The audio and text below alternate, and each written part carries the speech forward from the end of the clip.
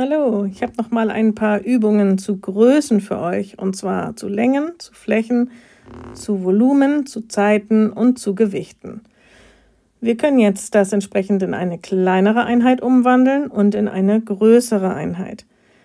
Das heißt, wir nehmen jetzt hier mal die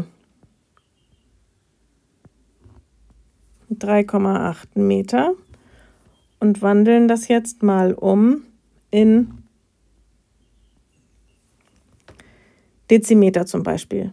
Dann wären das 38 Dezimeter oder 380 Zentimeter. Aber wir können es natürlich auch in Millimeter umwandeln. Oder wir können es auch in Kilometer umwandeln. Dann wären das entsprechend 0,0038 Kilometer. Okay, das heißt, wir wollen versuchen, so viel wie möglich umzuwandeln und in andere Einheiten zu schreiben. 3,8 Liter. Wir wissen, Liter ist das gleiche wie Kubikdezimeter, also können wir schreiben, es sind 3,8 Kubikdezimeter. Jetzt können wir das Ganze aber auch in Millilitern schreiben. Das heißt 3800 Milliliter. Oder entsprechend natürlich auch in Kubikzentimeter. Das ist nämlich das gleiche wie Milliliter. Oder auch in Kubikmeter. Dann wären das entsprechend 0,0038 Kubikmeter. 3,8 Hektar. HA ist ja Hektar. Und nochmal zur Erinnerung, ein Hektar sind 10.000 Quadratmeter. Das heißt also, ein Hektar ist eine Fläche von 100 Metern mal 100 Meter. Und die Verwandlungszahl bei Flächen ist immer 100 nur. Das heißt, wenn wir jetzt entsprechend umwandeln, dann können wir das in Are umwandeln. Da die Verwandlungszahl 100 ist, sind es also 360 Are. Oder auch nochmal zwei Nullen dran, dann haben wir die Quadratmeter. Oder wir können natürlich auch in Quadratkilometer gehen. Da müssen wir auch entsprechend zwei Stellen das Komma weiter nach vorne verschieben. Okay. 3,8 Stunden. Stunden kann man natürlich nicht so gut umwandeln jetzt mit Kommazahl, denn man muss ja aufpassen, das ist ja entsprechend jetzt mal 60. Das heißt, das Ganze sind, wenn wir das anders schreiben, sind drei Stunden.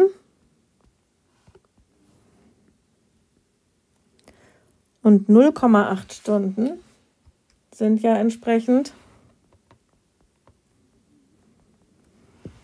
nicht acht Minuten oder sowas, sondern wir müssen das ja mit 60 multiplizieren. Das heißt, das Ganze sind jetzt drei Stunden und 0,8 mal 60 wären jetzt eben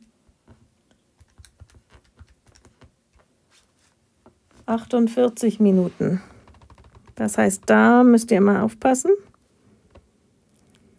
Und das Ganze könnten wir natürlich jetzt auch nur in Minuten zusammenfassen. Dann müssten wir die drei Stunden noch entsprechend in Minuten umwandeln und die 180 dazu addieren. Dann wären das 228 Minuten. Oder natürlich noch in Sekunden. Dann müssten wir entsprechend nochmal mal 60 rechnen.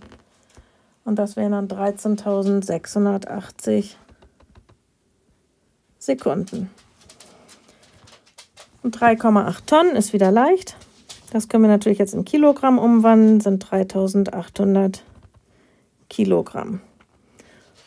Und wenn wir entsprechend höher wollen, dann wäre das ja nach Kilogramm, kommt Tonne und dann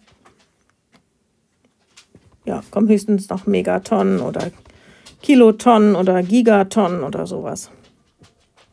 Also können wir das jetzt noch in Gramm umwandeln. Dann müssen wir nochmal mal 1000. Dann sind das 3 Millionen und 800.000 Gramm und entsprechend noch Milligramm. Gut. Wie geht das jetzt, wenn wir mit Einheiten rechnen? Das heißt, hier ist jetzt ja Kilometer geteilt durch Meter. Da muss man natürlich aufpassen, dass man erstmal in die gleiche Einheit umwandelt. Dann wären das 4000 Meter durch 5 Meter. Und wenn wir das als Bruch schreiben, dann wird eine Sache ganz klar. 4000 Meter durch 5 Meter, dann kürzt sich nämlich hier die Einheit genau raus.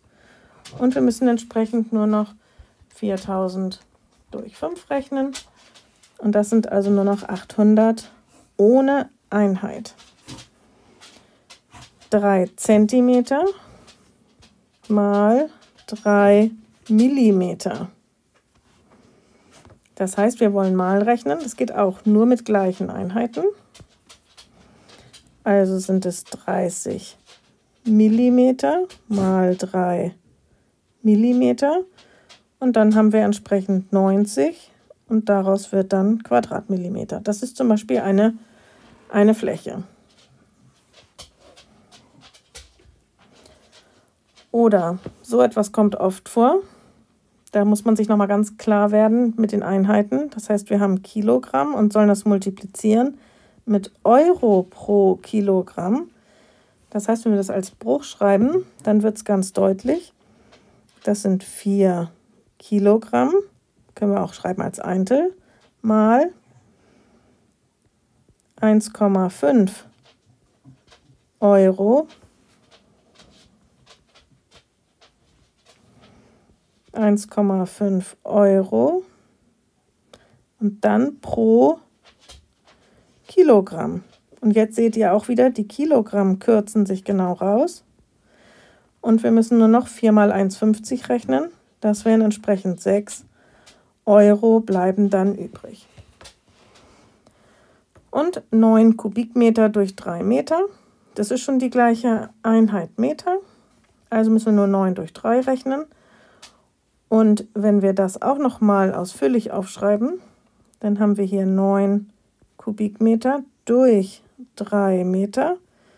Und dann kürzt sich eben 1 Meter gegen 1, 1 Meter von da oben weg.